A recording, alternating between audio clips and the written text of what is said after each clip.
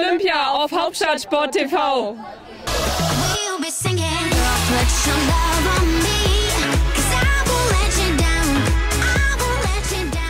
Letzter Tag bei Jugend trainiert für Olympia und Paralympics. Wir sind heute im schönen Grunau, wo die letzten Rennen von den Ruderern ausgetragen werden. Das heißt Halbfinals und Finals.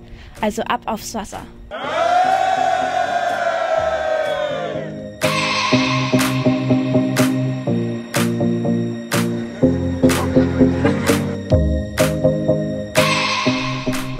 steady, row. Mit einem riesen Batzen guter Laune und hungrig nach dem Sieg starteten die bundesweit besten Schüler und Schülerinnen ihrer Altersklasse heute zum finalen Wettkampftag im Rudern.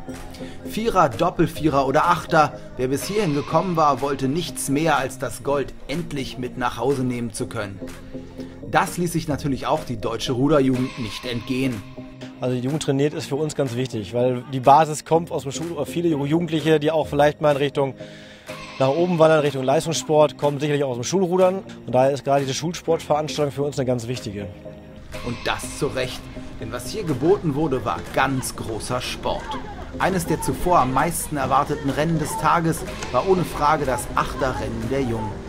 In einem heiß umkämpften Finale A war es das Nessel-Gymnasium Minden, welches sich vor dem Ratsgymnasium Osnabrück den zweiten Platz sichern konnte. Der Sieger hieß, wie so oft am heutigen Tag, Sportschule Potsdam Friedrich Ludwig Jahn. Also wir haben auf jeden Fall ein paar Medaillen, ganz genau kann ich das halt nicht sagen. Aber ich weiß, dass wir auf jeden Fall erfolgreich waren und äh, wir sind da schon ziemlich stolz drauf. Neben Potsdam waren es vor allem die Schulen aus Berlin, Hannover, Hamburg und Osnabrück, die sich heute die meisten Medaillen sichern konnten. Und natürlich wurden diese nicht von irgendjemand überreicht. Max Munski, seines Zeichens Vize-Olympiasieger mit dem Deutschland-Achter 2016 in Rio, überreichte die Medaillen und verglich JTFO sogar mit seinen eigenen Wettkampferfahrungen. Ja, also ich bin ja heute erst angekommen und mit der Bahn gefahren und man sieht überall äh, die Schüler mit den Jacken und den Pullovern der einzelnen Bundesländer und das hat schon so ein bisschen was. Also wenn man selber mal bei Olympia war, also ich hatte ja das Glück und ähm, da laufen dann halt ja, Deutschland und England rum und ähm, es ist schon so aufgezogen, es ist halt deutlich kleiner, aber es hat irgendwie genauso den Charakter.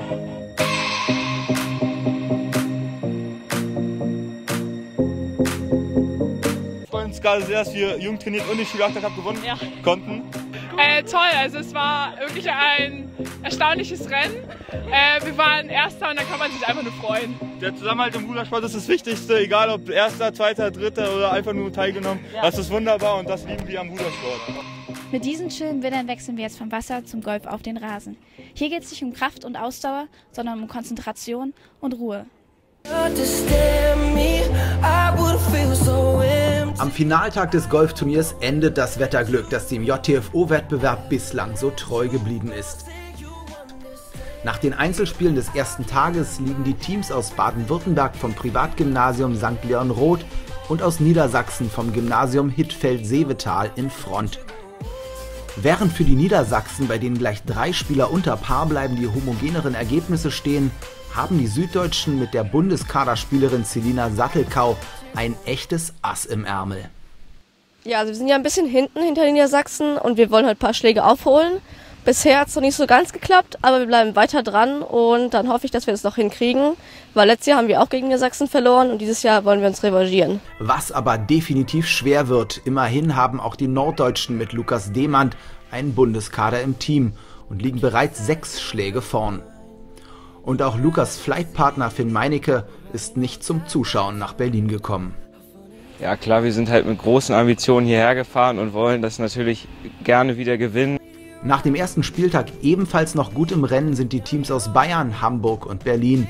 Und vielleicht geht ja zumindest für die Berliner von der Königin Luise Stiftung noch was. Die haben hier schließlich Heimvorteil. Also wir haben den Platz jetzt nicht zum ersten Mal gespielt äh, bei der Proberunde, aber ich denke schon, da das Niveau hier sehr hoch ist, dass die Spieler sich einstellen können, wenn sie den Platz einmal gespielt haben. Also ich denke nicht, dass der Heimvorteil allzu groß ist. Eine realistische Einschätzung, wie sich zeigen soll. Die Berliner werden am Ende Sechste.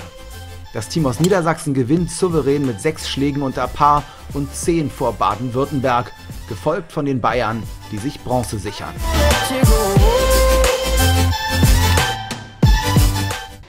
Wir bleiben im Grünen, jetzt geht's auf den grünen Rasen vom Fußball, nur mit ordentlich Action.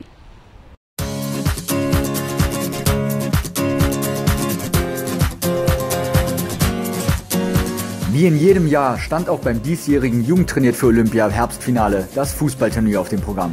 Nach drei mitreißenden Tagen im Berliner Olympiapark standen die Endspiele in den Wettkampfklassen 2 und 3 an. Ein Schaulaufen der Fußballstars von morgen. Also ich glaube, wir haben immer wieder äh, sogar auch Spieler, die dann mal in den U-Nationalmannschaften auftauchen. Also von daher auch bekannte Namen.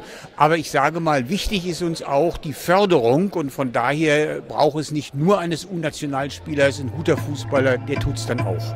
Und dass es genug gute Fußballer gibt, konnte man im Finale der Wettkampfklasse 3 zwischen dem städtischen Theodor-Linden-Gymnasium München und dem Sportgymnasium Chemnitz eindrucksvoll sehen. In einem rasanten Spiel setzten sich die Bayern mit 4 zu 1 durch. Für Kapitän Brandon Monte eine eindeutige Sache. Also die Anfangsminuten waren sehr hektisch. Dann sind wir immer besser reingekommen, hatten gute Spielzüge, dann haben wir halt gewonnen. Die mit zahlreichen Jugend-Bundesligaspielern gespickten Schulmannschaften schenkten sich auf dem Berliner Grün keinen Zentimeter. Und so wurde Fußball geboten, den man sonst nur aus der Bundesliga kennt. Für die Trainer der Schüler stellte sich dabei besonders die Aufgabe, die Jungs aus den verschiedenen Vereinen zusammenzubringen. Es ist spannend und schwierig zugleich, weil wir in dieser Konstellation auch nie zusammen trainieren. Und äh, da muss ich mich natürlich auf die Vereinsarbeit völlig verlassen, was taktische und technische Sachen angeht. Ich kann hier eigentlich hauptsächlich in dem Motivationsbereich arbeiten, dass das ein Team wird, dass die ziehen, dass die wollen. Und das haben wir geschafft. In der Fußball-Bundesliga ein Klassiker, bei JTFO eine sehr spannende Angelegenheit. Im Finale der Wettkampfklasse 2 standen sich die Schulen aus Bremen und München gegenüber. Auf taktisch höchstem Niveau zeigten die Jungprofis in einem heiß umkämpften Spiel, was man in Zukunft von ihnen erwarten kann. Nach zweimal 35 Minuten gingen auch hier die Münchner mit 2 zu 0 siegreich vom Platz. Für die bayerische Auswahl ein goldener Spätsommernachmittag. Jetzt eigentlich mit zum ersten Mal dabei. Ja, und dann noch das Tor zu schießen ist ein unbeschreibliches Gefühl, würde ich mal sagen. Es hat sich unfassbar gut angefühlt. Wir haben am Anfang gut gespielt. Danach haben wir nach dem 1-0 uns weiter hinten reinfallen lassen, um das zu verteidigen. Und war unglaublich. Für die Spiele aus Bayern gibt es also genug Gründe, sich bei der Abschlussfeier von JTFO redlich feiern zu lassen. Und vielleicht darf man dann dem ein oder anderen Spieler in Zukunft auch mal in der Bundesliga die Daumen drücken.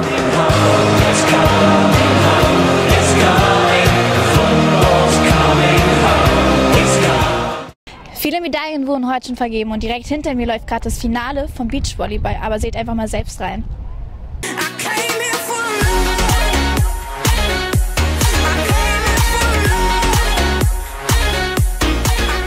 Nach fast drei intensiven Tagen bei Jugend trainiert für Olympia war es auch bei den Beachvolleyballern endlich Zeit für die Medaillenvergabe.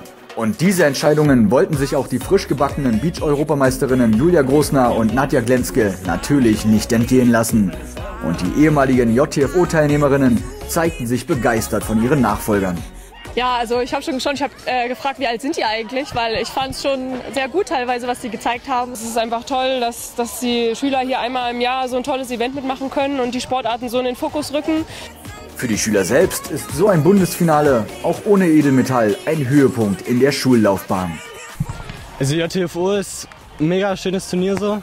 Auch, dass mal Schulen gegeneinander spielen können. Man trifft auch manche Freunde aus dem Verein oder so wieder. Doch selbstverständlich geht es am Ende um Titel und Podiumsplätze. Schon das Spiel um Bronze war mehr als ein Vorgeschmack auf das Finale. Die Bremer Oberschule an der Ronzelenstraße und das Giebichenstein-Gymnasium Thomas Münzer aus Halle lieferten sich teilweise packende Ballwechsel. Letztlich hatten die Sachsen-Anhalter das bessere Ende für sich. Äh, ich bin noch voll fertig. Also ähm, ich laufe jetzt 20 Jahre hinter einer Medaille hinterher. Das ist die erste. Das kann man nicht toppen. Das ist also geht nicht besser. Ja, wir waren auch echt mega angespannt in dem Spiel, gerade weil wir wussten halt, wir müssen, das Mix kann es auch schaffen und dann war es einfach unglaublich. Jetzt beim letzten Mal, wir hätten nicht nochmal herfahren können, deswegen war das unglaublich gerade. Karl-Humann-Gymnasium Essen gegen Schul- und Leistungssportzentrum Berlin. So lautete das Endspiel. Und das stand dem kleinen Finale in nichts nach. Die Hauptstädter gingen dank eines 2-0-Sieges bei den Jungen in Führung. Nachdem das nordrhein-westfälische Mixed in einem engen Match für den Ausgleich gesorgt hatte, musste das Mädchen doppelt die Entscheidung bringen. Auch hier ging es in den Tiebreak und nach einem verschlagenen Ball der Berlinerinnen brachen bei den Essenern alle Dämme. Auch für die Beach-Europameisterin Großner Glenske ein verdienter Bundessieger. Ich freue mich, wenn das, äh, wenn das so spannend am Ende ist. Es war ja wirklich haarscharf. Äh, die Mädchen ähm, durften das dann entscheiden und ja, tolles Spiel. Ich als Berlinerin hätte mir gewünscht, dass die Berliner gewinnen, aber am Ende gewinnt halt der Bessere und Essen hat echt eine super Leistung gezeigt. Und vielleicht war da schon der eine oder andere dabei, der in die Fußstapfen der Profis treten kann. In jedem Fall waren die Finalspiele ein würdiger Schlusspunkt eines insgesamt hochklassigen Beachvolleyball-Turniers bei Jugend trainiert für Olympia.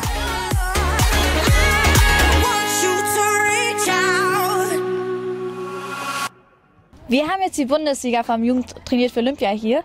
Wie fühlt es sich an, gewonnen zu haben? Ganz schön cool, ganz schön Hammer. Ein krasses Gefühl. Wie fühlt es sich an, den entscheidenden Punkt zu machen? Ja, ganz schön geil. Also kann man gar nicht beschreiben. Man bekommt das gar nicht mit und danach denkt man erst, ich habe jetzt gewonnen und alle kommen aufs Feld und ja, man weiß gar nicht, was passiert. Das hört sich da schön an. Wollt ihr noch irgendjemanden grüßen?